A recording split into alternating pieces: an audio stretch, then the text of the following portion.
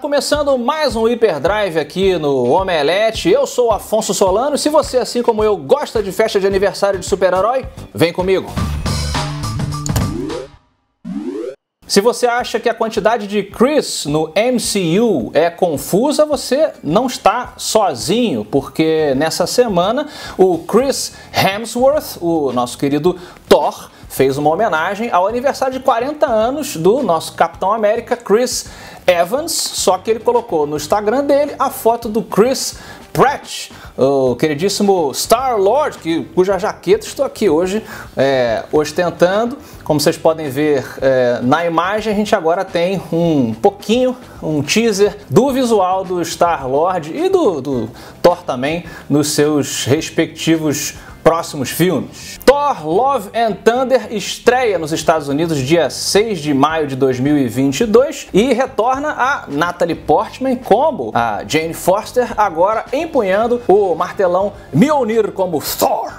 O Festival de Annecy revelou uma prévia da animação What If, What If, onde a Peggy Carter se torna a Capitã Britânia. No universo de What If, ou o que aconteceria se, nós exploramos outras possibilidades com outras personagens, né, em outras linhas temporais talvez, e aqui no caso a agente Carter é quem recebe o soro do super soldado através ali do Howard Stark e se torna a Capitã Britânia, socando os nazistas no lugar do Capitão Rogers.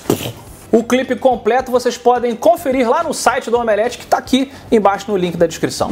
Uma notícia triste aqui no Hyperdrive, nesse domingo morreu o ator Ned Beatty, aos 83 anos de idade. Ele fez Amargo Pesadelo, Rede de Intrigas, ele dublou no Toy Story 3 o Lotso, né, aquele vilão, um vilão profundo, vilão dramático ali, fofinho. E fez também Super-Homem, né, um papel muito icônico no Super-Homem para quem assistiu ali os clássicos e vai deixar saudade aí. O diretor do vindouro filme do Flash, Andy Muschietti, divulgou na sua conta de Instagram um teaserzinho, uma foto ali de como pode ser, como vai ser o uniforme do Flash. Dá uma olhada aí. O filme vai adaptar a saga das HQs Ponto de Ignição, onde o Flash, para variar, bagunça a linha temporal da DC Comics. O Ezra Miller retorna ao papel do Flash e o Michael Keaton aí muito esperado, muito esperado por muitos fãs do Batman do Tim Burton, retornará como um Batman velho. Estamos, estamos no aguardo. The Flash está previsto para 4 de dezembro de 2022.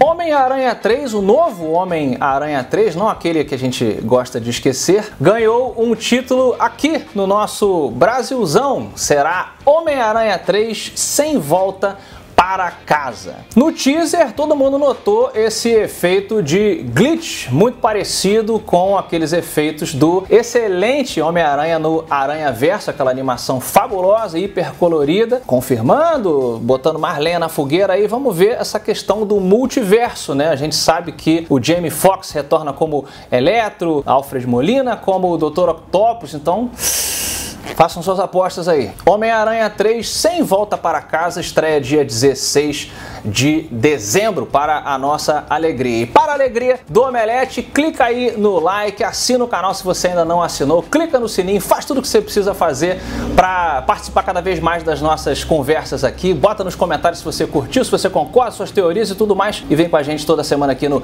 Hyperdrive.